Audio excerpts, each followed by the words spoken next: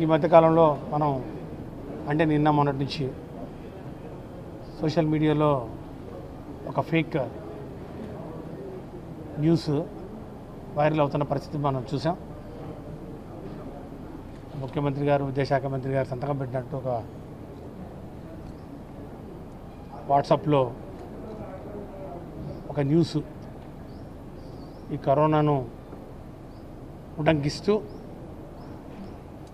పాఠశాలలకు సెలవులు ఇచ్చారనే ఒక ఫేక్ ఫేక్ న్యూస్ సోషల్ మీడియాలో మరి చక్కర్లు కొడుతున్న పరిస్థితులు చాలామంది కూడా మరి ఒక అనుమానం వచ్చినట్టుందేమో మరి. నా దృష్టికి కూడా కొన్ని ఫోన్స్ రావడం ఫోన్ కాల్స్ రావడం జరిగింది. ఒకటి చెప్పదలుచుకుందాం. దేశంలో ఎక్కడ లేని విధంగా ఈ రాష్ట్రంలో కరోనా మహమ్మారిని నియంత్రించే కార్యక్రమంలో రాష్ట్ర ప్రభుత్వం గౌరవ ముఖ్యమంత్రి వర్యులు శ్రీ వైఎస్ జగన్మోహన్ రెడ్డి గారి నాయకత్వంలో తీసుకున్నటువంటి చర్యలు దేశంలో ఎక్కడా లేవు.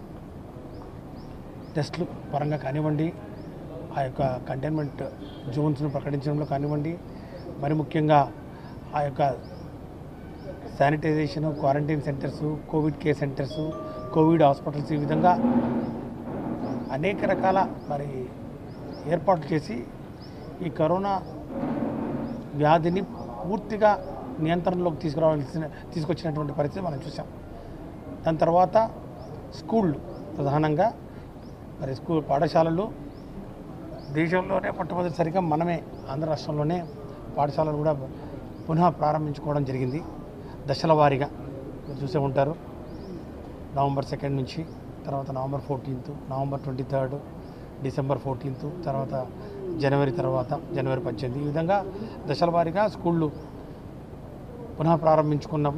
దాని తర్వాత ఇప్పుడు పాఠశాలల ఆ యొక్క సిలబస్ కూడా నియంత్రించుకొని దానికి తగ్గట్టుగా జూన్ వరకు క్లాస్ వర్క్ నడిచే విధంగా పూర్తిగా ఈ విద్యా సంవత్సరం యొక్క క్యాలెండర్ను కూడా తయారు చేసి ఇప్పటికే ప్రకటించడం జరిగింది. పదవ తరగతి ప- మరి పరీక్షలు కానివ్వండి ఇంటర్మీడియట్ పరీక్షలు కానివ్వండి వాటికి సంబంధించినటువంటి షెడ్యూలు దానికి సంబంధించినటువంటి ఈ యొక్క పరీక్షా విధానం అవన్నీ కూడా మరి పూర్ణంగా మరి సిద్ధం చేసుకొని కళాశాలలు కానివ్వండి స్కూళ్ళు కానివ్వండి ముమ్మరంగా మరి యథాస్థితికి ఇంచుమించుగా సమానంగా ఈరోజు పాఠశాలల్లో నిర్వహిస్తున్న పరిస్థితిని ఈరోజు నేను రాష్ట్ర ప్రజానికానికి తెలియజేస్తూ ఉన్నాను. కాబట్టి ఈ పరిస్థితుల్లో మరి ఎందుకు ఈ విధంగా ఈ యొక్క వైరల్ చేసే విధంగా ఒక ఫేక్ న్యూస్ను ఈ యొక్క సర్క్యులేషన్లో పెట్టారో అర్థం అవ్వట్లేదు.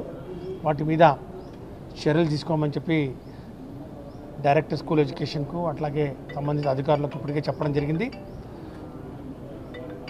సైబర్ క్రైమ్ కింద దాని మీద కేసు కూడా నమోదు చేయాలని చెప్పి ఇప్పటికే ఉత్తర్వులు ఇవ్వడం జరిగింది. త్వరలోనే ఎలాంటి ఆకతాయి పనులు చేసినటువంటి వాళ్ళని ఖచ్చితంగా వారిని మరి చట్టం లోపలికి మరి తీసుకొచ్చి వారి మీద చర్యలు తీసుకుంటాం.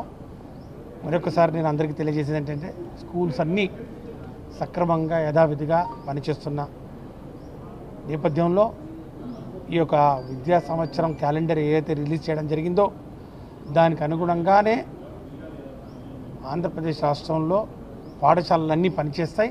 అట్లాగే జూనియర్ కాలేజెస్ అట్లాగే డిగ్రీ కాలేజెస్ కూడా పనిచేస్తాయని చెప్పి కూడా తెలియజేస్తూ ఈ యొక్క అఫిలియేషన్ గురించి కూడా చాలామంది మరి కొన్ని అనుమానాలు వ్యక్తం చేశారు. ముఖ్యంగా స్కూల్స్ ప్రైమరీ స్కూల్స్ మరి కాన్వెంట్స్ ప్రైవేట్ కాన్వెంట్స్ వీటన్నిటి అనుమతులు మరి ఇంతకుముందు ఇచ్చినటువంటి పది సంవత్సరాలు కాకుండా ఒక సంవత్సరం మాత్రం ఇచ్చారని మరి దానికి అనేకమైన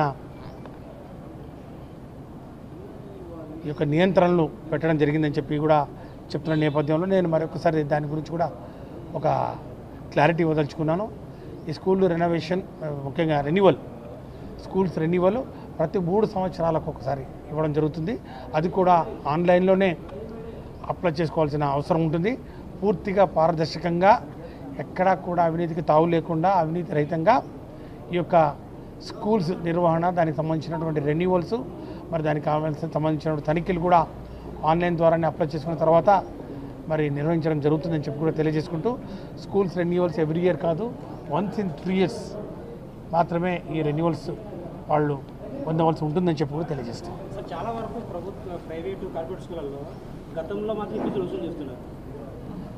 ఈ మధ్య పాఠశాల ప్రారంభమైనప్పటికీ మేము ఒకటే చెప్పాం ఈ విద్యా సంవత్సరం ఏదైతే ఉందో ఇరవై ఇరవై ఒకటికి సంబంధించినటువంటి విద్యా సంవత్సరానికి ఫీజులు ఎందుకంటే స్కూళ్ళు అధిక మరి రోజులు మూతపడి ఉన్న నేపథ్యంలో పూర్తిగా వారికి వారికి సంవత్సరాంతం పట్టే ఆ యొక్క ఖర్చులు మరి వాళ్ళకు లేని నేపథ్యంలో సెవెంటీ పర్సెంట్ డెబ్బై శాతం మాత్రమే గత సంవత్సరంలో వసూలు చేసిన ఫీజులకు మరి వసూలు చేయాలని చెప్పి ఆ డెబ్బై శాతాన్ని అంటే ముప్పై శాతం తగ్గిస్తూ ఫీజులు వసూలు చేయాలని చెప్పి ఇప్పటికే ప్రభుత్వం ఉత్తర్వులు చేసే ఉత్తర్వులు జారీ చేయడం జరిగింది.